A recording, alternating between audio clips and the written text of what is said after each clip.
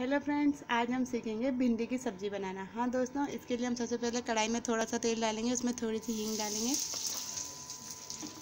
उसमें थोड़ा सा हम जीरा डालेंगे।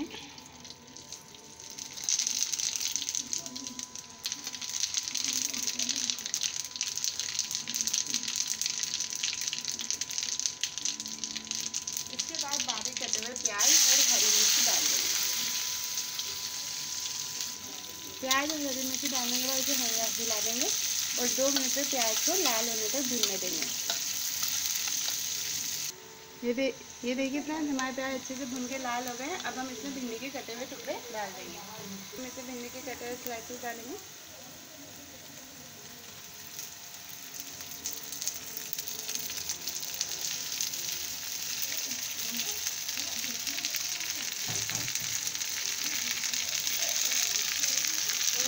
भिंडी को हम काटने किसी पेपर पे रख लेते हैं ताकि जो भिंडी में से पानी होता है, वो सारा पेपर में आ जाता है और हमारी भिंडी कुरकुरी और टेस्टी बनती है।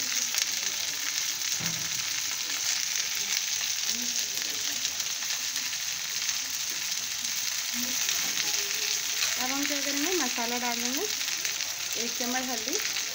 भिंडी सूखी सब्ज़ी होती है, इसलिए हल्दी कम कर दिए। डेढ़ चम्मच लाल मिर्च। दो चम्मच धनिया पाउडर और डेढ़ चम्मच, नमक। क्योंकि सब्ज़ी बनाते समय हमेशा ध्यान रखें तेल थोड़ा सा ज़्यादा लगेगा। क्योंकि तो जब तेल थोड़ा ज़्यादा रहता है तो सब्ज़ी चिपकती नहीं है। अब इस मसाले को डालने के बाद हम इसे अच्छे से हिला लेंगे।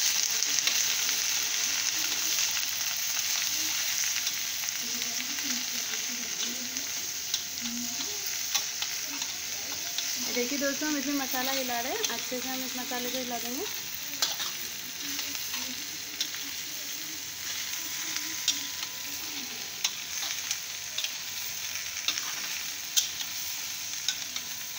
ठीक दोस्तों, हमने भिंडी में मसाला अच्छे से हिला लिया है।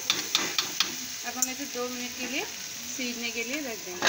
दो मिनट जब हम इसे ढक के रखते हैं तो अच्छे से भिंडी पक जाती है। अब देखिए दोस्तों, दो मिनट ढकने ये देखिए दोस्तों, दो मिनट के बाद जब हमारी भिंडी पक गई होगी तो हम इसे उगाड़ के देखेंगे कि हमारी भिंडी अच्छे से पकी है या नहीं पकी वाह ये देखिए हमारी स्वादिष्ट भिंडी तैयार है। अब आप इसे खाइए, खिलाइए, अच्छे से हिला के सर्व कीजिए पूड़ी के साथ, पराठों के साथ, भिंडी की सब्ज़ी का टेस्ट दीजिए थैंक्स फॉर विजिटिंग